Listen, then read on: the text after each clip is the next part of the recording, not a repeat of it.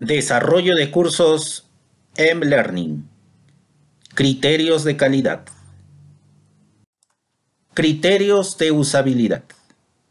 La usabilidad móvil se aplica al concepto de facilidad de uso. De allí la palabra usabilidad. En servicios online con dispositivos móviles como los smartphones o tablets. El objetivo es tratar las características particulares de los dispositivos como pantallas más pequeños o cursos más pequeños en comparación con los ordenadores de sobremesa o portátiles, y diseñar o implementar una página web móvil teniendo en cuenta estos aspectos. Algunas cuestiones claves al abordar la usabilidad es que la usabilidad móvil proporciona respuestas a cuestiones claves relacionadas con aplicaciones y sitios web para dispositivos móviles. ¿Pueden los usuarios manejar las tareas principales con la app o el sitio web? ¿Es el control por gestos intuitivo y fácil de entender? ¿Se puede usar la aplicación con varios sistemas operativos móviles? ¿Pueden navegar fácil y positivamente con una tablet o un smartphone? ¿Se puede rellenar fácilmente formularios o campos separados con el dispositivo móvil? ¿Funciona el diseño responsive igual de bien en todos los dispositivos? Enfoques de optimización. La usabilidad móvil se puede aumentar optimizando algunos aspectos, tales como uso de botones que se pueden tocar fácilmente, uso de una navegación visible que se activa pulsando, contenidos primarios colocados en el centro de atención, evitar descargas innecesarias de datos, comprimir imágenes para reducir la velocidad de transmisión de datos. Criterios de UX, User Experience. Cuando hablamos de UX nos referimos a la experiencia de usuario. Se centra en el usuario, en lo que éste quiere hacer con la aplicación móvil o en la pantalla nos referimos a la experimentación antes, durante y después de interactuar con la pantalla del dispositivo móvil.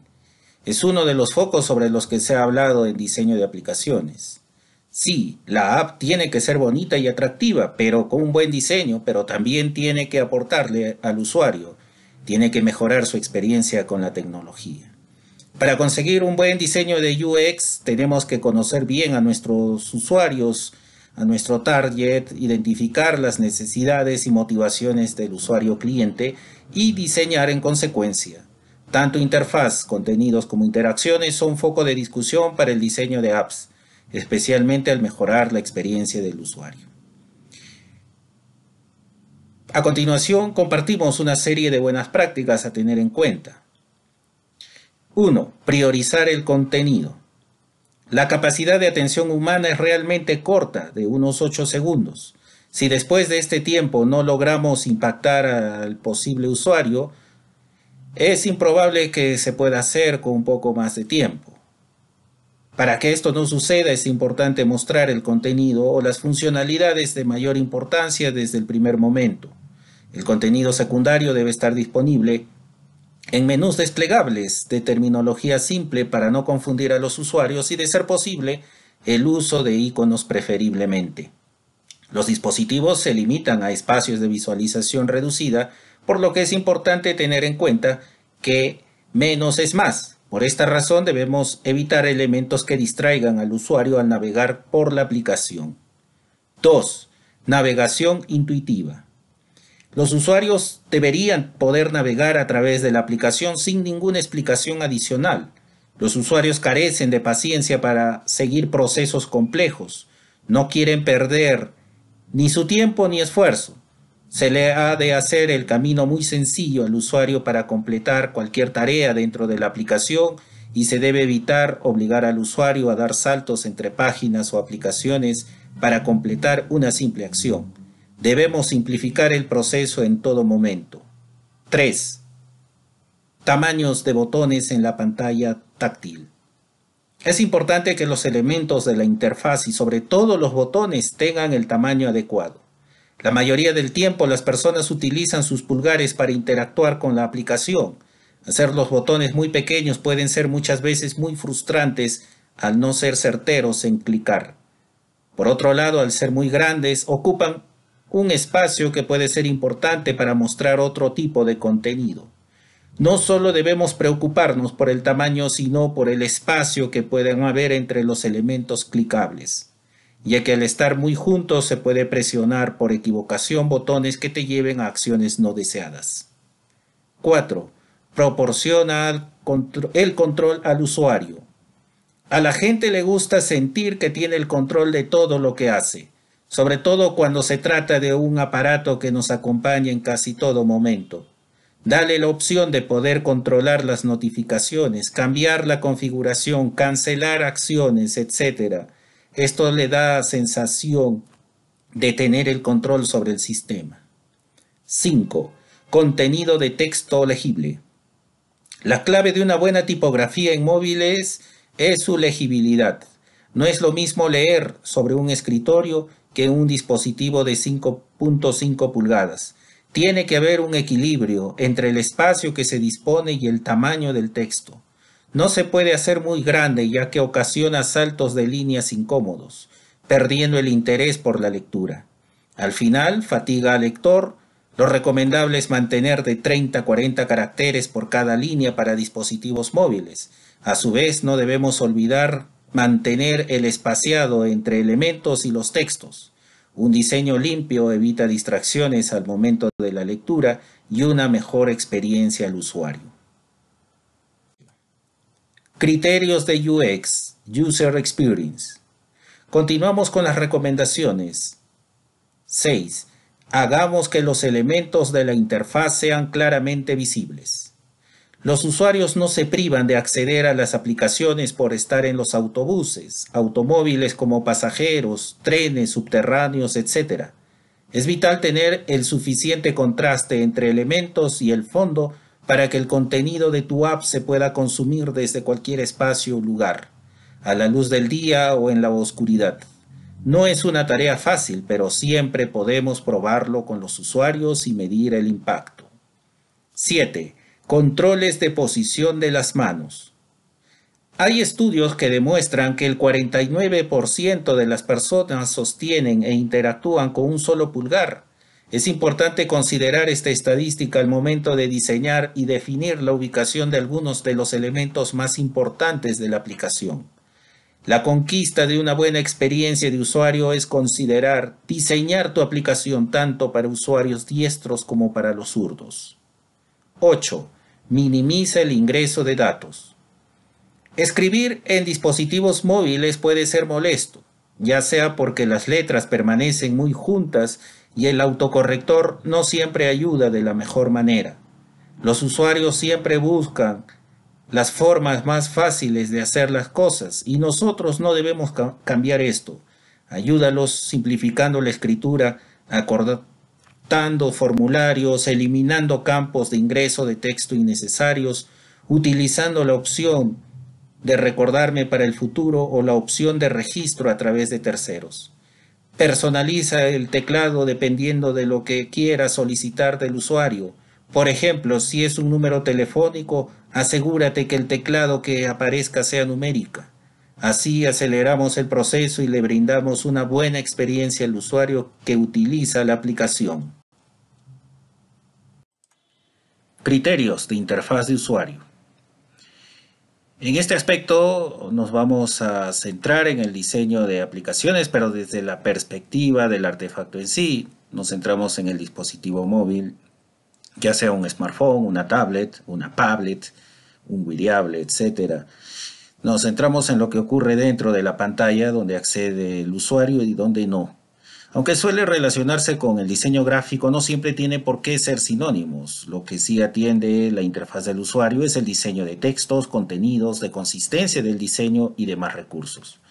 Algunas pautas generales a tener en cuenta son que los dispositivos móviles se utilizan en un contexto muy variable. El usuario tiene muchas interferencias ambientales que pueden distraer su atención. El usuario es consciente de que el tiempo de conexión tiene un costo económico. Estos dispositivos se utilizan en general para desempeñar tareas concretas y poco para navegar erráticamente. También hay una gran heterogeneidad de los dispositivos, en especial eh, en cuanto a la diversidad de formatos de pantallas. En el caso de que la interacción se realice mediante teclado, este suele ser difícil de manejar, por lo tanto es mejor seleccionar opciones que escribir. Si aún así hay que incluir campos de introducción de texto, es recomendable preinformar los campos, rellenarlos con el contenido más frecuente siempre que sea posible. El estilo de escritura tiene que ser claro y conciso, más aún en el caso de aplicaciones dirigidas a otros de soporte digital. El espacio en blanco puede conducir al usuario a pensar que no hay nada más en la página. En lugar de líneas vacías de separación, es mejor introducir algún tipo de elemento gráfico. Hay que evitar al máximo los pasos innecesarios o elementos que distraigan al usuario, como animaciones o banners. La estructura de contenidos tiene que ser lo más plana posible. Es mejor que haya muchas opciones y pocos niveles. Siempre tiene que haber una opción de marcha atrás. Y es mejor si complementamos eh, con un acceso permanente a las opciones principales de navegación. En cuanto a la pantalla, el tamaño de la pantalla de los dispositivos móviles es mucho menor que el del escritorio, por lo tanto es probable que un diseño que se ve completo en el escritorio necesita un scroll de un móvil o implique el trabajo con diseño responsivo, que viene a ser pues la característica de, de un sitio web, de un diseño, de poder adaptarse a cualquier tamaño de dispositivo, ¿no? Básicamente en la pantalla, ¿no? Cualquier tamaño de pantalla. También es recomendable no utilizar menús desplegables en pantallas pequeñas, a pesar de que es preferible a que las opciones de menú clicables sean demasiado pequeños. Eh, bueno, en cuanto al navegador, eh, utilizar pues eh, los navegadores más usados por los usuarios como Opera Chrome, por ejemplo, no se tiene que utilizar marcos ni frames, ya que suponen un obstáculo especial en el caso de pantallas pequeñas. No utilizar ventanas emergentes de pop-ups. Eh, no utilizar menús contextuales. Muchos dispositivos tienen un teclado muy limitado, se tiene que evitar la introducción de textos. O solo pedir lo estrictamente necesario. Los dispositivos no tienen mouse y el teclado es limitado. La navegación tiene que basarse en el teclado y otros elementos de activación a la pantalla táctil.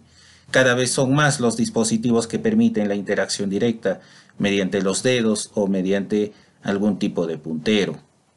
En cuanto al diseño de las eh, cabeceras, eh, la cabecera es el título que aparece en la zona superior de la pantalla las herramientas de maquetación y de programación se refieren a esa cabecera como título. Algunas aplicaciones, fundamentalmente los navegadores, pueden utilizar la cabecera como nombres de referencias al generar favoritos, pero hay que tener en cuenta que algunos dispositivos no muestran la cabecera o que aunque aparezca no siempre es detectada por los usuarios.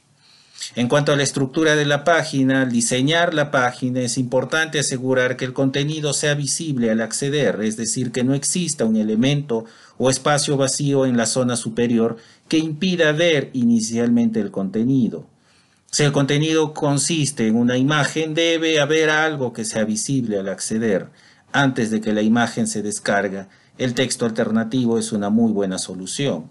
La página tiene que mantener su estructura y resultar comprensible, sin gráficos, para los casos en los que el usuario tenga las imágenes desactivadas o si el tiempo de descarga es largo.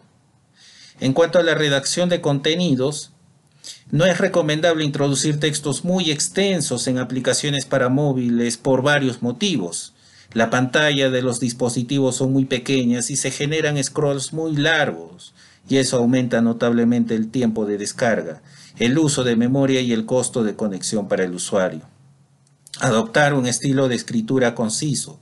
Este estilo debe prevalecer incluso por encima de los criterios de estilo corporativos. Las frases tienen que ser directas y precisas, los verbos deben estar en tiempos activos, evitar el uso de las voces pasivas, el contenido tiene que estar fragmentado en unidades lógicos, omitir las palabras innecesarias y evitar redundancias, por ejemplo, se puede utilizar pin en lugar de número pin. Utilizar títulos para fragmentar de manera lógica la información de la pantalla y para indicar al usuario lo que viene a continuación. Utilizar párrafos cortos, abreviar horas y fechas, omitir fechas y horas innecesarias, etc. En cuanto a la tipografía, los dispositivos móviles suelen tener un número bastante limitado de fuentes disponibles. La mayoría de ellos tienen un máximo de dos fuentes. En cuanto a los enlaces, eh, la apariencia de los enlaces puede variar según el móvil. El texto de un enlace no tiene que superar tantos caracteres, ya que algunos dispositivos pueden presentar error con cadenas de caracteres muy extensas. El texto del enlace tendría que caber en una sola línea. Una buena práctica es limitarlo a 11 caracteres como máximo. Evitar las ambigüedades en las etiquetas de los enlaces. En cuanto a las multimedias e imágenes, como norma general, los gráficos para móviles tienen que ser pocos, pequeños y sencillos. Hay que tener en cuenta además que algunos dispositivos no soportan gráficos y que el soporte de color puede variar entre 65.000, 4096, 256, 64, 16, 4 o 2 colores. Mantener la misma paleta de colores a lo largo de toda la aplicación o la web, mantener la misma gama de grosor de línea para toda la aplicación o web, mantener un alto nivel de contraste de colores, mantener la consistencia en el tamaño de las imágenes, comprobar el aspecto de las imágenes cuando la orientación del dispositivo cambia, comprobar que las imágenes encajan bien en pantalla sin distorsionar o producir scroll, utilizar formatos de gráfico estándar como PNG, JPG o GIF. Otros formatos tratar de no utilizarlos, no utilizar mapas de imagen, asegurarse de que la página continúa viéndose bien sin gráficos. Es así que un tema muy importante viene a ser la accesibilidad de contenidos digitales. La accesibilidad pues beneficia no solo a personas que presentan algún grado de discapacidad, como visual, auditiva o física. También beneficia a otros grupos de personas, como personas de edad avanzada, personas que no dominan un idioma, personas inexpertas o con dificultades en su entorno, personas usuarios de dispositivos móviles o alguna tecnología en especial. Es decir, la accesibilidad beneficia a todos. Las instituciones académicas pues de todo el mundo están dando prioridad a la accesibilidad. Y de hecho, es un criterio importante, cada vez más valorada por las diferentes agencias y estándares de calidad de la formación virtual, porque ayuda a garantizar que los estudiantes eh, con o sin discapacidad tengan las mismas oportunidades de éxito educativo. Sin embargo, muchas de estas instituciones no se dan cuenta de que la adopción de principios de diseño inclusivo en su enseñanza también puede mejorar la experiencia de aprendizaje para todos los estudiantes, incluidos los estudiantes de primera generación, los estudiantes internacionales, los estudiantes que están de movilidad, solo por mencionar algunos grupos de ellos. Y obviamente el hablar de accesibilidad pues es hablar de la norma WCAG que significa Web Content Accessibility Guidelines la universalidad de estas pautas del W3C, que es eh, la institución que define estos estándares, se pone de manifiesto pues, por el hecho de haber sido aprobado en 2012 como estándar internacional. WCAG tiene 12 lineamientos, los cuales están organizados en principios perceptibles, operativos, entendibles y robustos. Cada lineamiento tiene criterios de éxito medidos en tres niveles, A, AA y AAA. Use color, formato y fuente de texto accesible. Herramientas como el analizador de contrastes de colores nos ayudará a detectar contrastes de color insuficientes, ya que compara el color del texto de los documentos con el color de página de fondo de celdas de las tablas, el resaltado, el color de relleno del cuadro de texto, el sombreado de párrafos, los rellenos de formas y SmartArt, los encabezados y pies de páginas, así como los vínculos. Si el documento tiene un alto nivel de contraste entre el texto y el fondo, más usuarios podrán ver y usar el contenido. En cuanto a las fuentes, es muy importante la elección del tipo de letra de nuestros documentos. No tanto porque pueda resultar más bonita o atractiva, sino porque pueda leerse con mayor facilidad. Para un estudiante con dislexia, la elección de una tipografía adecuada marca la diferencia entre poder leer correctamente la información y no poder hacerlo. Las fuentes sin serifa, es decir, sin bordes, sin remates o sin adornos, son las más recomendables. En este cuadro, pues podemos encontrar las fuentes que se recomienda utilizar y las fuentes que no deberíamos utilizar por cuestiones justamente del cuidado con la tipografía. En cuanto al tamaño, pues utilizar al menos el tamaño 12 o el tamaño 18 en PowerPoint. Muchas veces creamos documentos que incluyen elementos visuales como tablas, gráficos o imágenes y no tenemos en cuenta cómo afecta eso a la accesibilidad de nuestros documentos y cómo podemos corregirlos. El texto alternativo es muy importante para aquellas personas que no pueden ver la pantalla o no la ven con claridad, ya que permite que los lectores de pantalla les ayuden a comprenderlo. Para ello, el texto alternativo ayuda a las personas que usan el narrador de pantalla a entender el contenido visual. Debemos agregar pues texto alternativo a todos los elementos visuales que incluyan el documento, tales como imágenes, gráficos, tablas, etc. De este modo, los lectores de pantalla podrán leer el texto para describir la imagen a los usuarios que no puedan verla.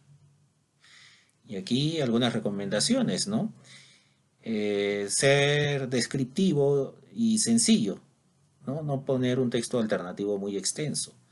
No decir foto de, sino ir directamente con la descripción. Si hay información crucial como fecha, hora, lugar, enlace, pues incluyamos. Revisar la configuración de las tablas. Es importante verificar el orden con tab, encabezar la tabla, también utilizar o incluir el texto alternativo, evitar en lo posible divisiones de filas o columnas. No muestre directamente la URL.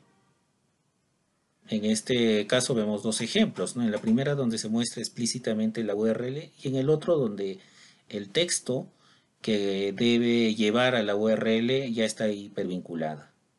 Entonces la recomendación es redactar en forma al ejemplo B. Usar estilos de títulos. El uso de títulos es fundamental y hace que el contenido sea mucho más accesible para aquellos estudiantes que necesitan usar el narrador de pantalla. Estudiantes con poca visión o estudiantes con dislexia, ya que nos permite crear documentos que están bien estructurados, sean fáciles de navegar, encontrar contenido y ayudar a completar las tareas. Cuando preparamos un documento en Word, por ejemplo, es fundamental asignar el estilo correcto, si es eh, un contenido de tipo normal y si es un título, asignar los niveles de título. Esto luego también nos va a ayudar a generar automáticamente los índices, pero sobre todo, al momento de utilizar lectores de pantalla, informará mejor a alguna persona, por ejemplo con ceguera total, de que se trata de un texto normal o corresponde a algún nivel de título. Es decir, va a poder saber con qué tipo de estilo cuenta un determinado texto en cualquier lugar del documento. Etiquete palabras de otros idiomas. Por ejemplo, tenemos un documento en español y una palabra en inglés. Esta palabra en inglés será seleccionado y deberá precisarlo que se trata de idioma inglés. De este modo, los lectores de pantalla podrán orientar mejor a la persona que haga uso y quiera leer este contenido. Ejemplo de aplicación. Selecciona un sitio web y evalúa si cumple con los criterios descritos en este recurso de aprendizaje. Autoevaluación de lo aprendido. A partir de los contenidos revisados en este recurso digital, ¿De qué manera beneficia un sitio web y o web móvil el que cumpla ser accesible? ¿A quiénes beneficia? Cierre. Desde hace algunos años los términos UI, UX y accesibilidad se han ido emparejando cada vez más con el diseño web. Internet es un vasto territorio lleno de contenidos, pero no todos cumplen los requisitos de usabilidad necesarios para ofrecer una experiencia óptima a los clientes. Se describen los principales criterios a considerar al crear web móvil y o app móvil como usabilidad, que es la facilidad de uso, UX, la experiencia del usuario, IU, interfaz de usuario y accesibilidad web.